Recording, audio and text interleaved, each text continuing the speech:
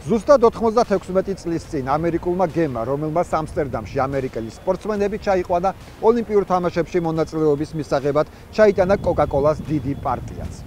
მას მერე კოკაკოლა არის ოლიმპიური მოძრაობის მთავარი და უცვლელი პარტნიორი. დღეს ჩვენს რუბრიკაში კოკაკოლას ოლიმპიური ტური გიყვებით 1928 წლის ამსტერდამის ოლიმპიური თამაშების ნაკლებად ცნობილ და საკმაოდ საინტერესო ამბებზე. ზაფხულის მეცხრე ოლიმპიურ თამაშებს 1928 წელს ამსტერდამმა უმასპინძლა. პრეტენდენტი ორი ქალაქი იყო. ამსტერდამს კონკურენციას ლოს-ანჯელესი უწევდა, თუმცა საერთაშორისო ოლიმპიურ კომიტეტში წილის ყველაზე ნიდერლანდებმა 14 ხმა მიიღეს, ამერიკელებმა მხოლოდ 4. ეს იყო პირველი ოლიმპიადა, რომლის დროსაც პიერ დე კუბერტენის საერთაშორისო ოლიმპიური კომიტეტის პრეზიდენტი აღარ იყო.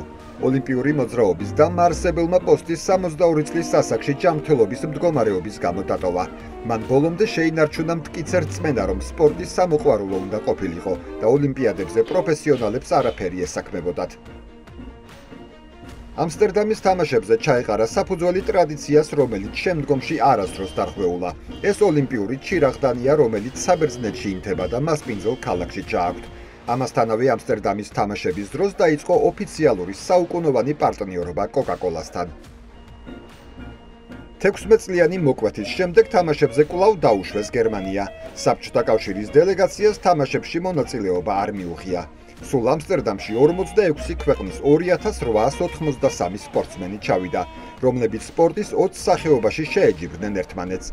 ყველაზე მეტი მედალი ამერიკელებმა მოიგეს. საერთო ჩათვლაში მეორე ადგილზე გერმანელები გავიდნენ. ტრადიციის თანახმად თამაშების სახელმწიფოს მეტაურს უნდა გაეხსნა, თუმცა დედოფალმა ვილგემინამ მისიის შესრულებაზე უარი რელიგიური მოტივებით თქვა. მისი აზრით ჭეშმარიტი ქრისტიანისთვის სპორტის შეუფერებელი გართობა იყო. ამიტომ თამაშების გახსნა მისმა მეუღლემ, პრინცმა ჰენდრიკმა ითავა. დედოფალმა კი დასწრებაზეც უარი განაცხადა. თამაშებს ერთი უსიამოვნო ინციდენტიც ახლდა.